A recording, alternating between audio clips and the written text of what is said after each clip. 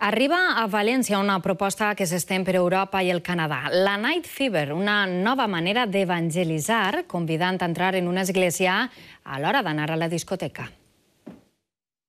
Pues tres joves van començar a, a fer aquesta idea que en un principi era algo puntual i s'ha estès per tota Europa i ha arribat fins a Canadà. Arriba a Espanya a través de, de València. La idea consisteix en arrimar a la gent a Déu.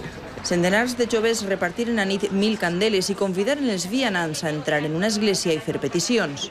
Porque todo el mundo hay un examen, una enfermedad, un, un, un tema de amoroso incluso, de amistad. Joves actius en les Night Fevers d'algunes de les 44 ciutats on es fa actualment a Alemanya han viatjat a València per a mostrar esta nova proposta evangelitzadora.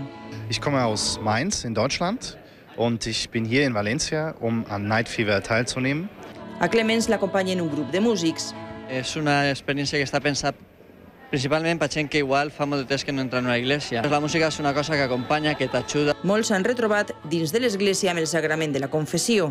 La persona jove i no tan jove que experimenta el que és confessar-se bé pot sentir-se i pot trobar-se molt bé. Tots necessitem que és descansar, traure el que tinguem tots ahí dins i que no podem contar-ho a ningú. Mil candeles han quedat enceses per mil esperances.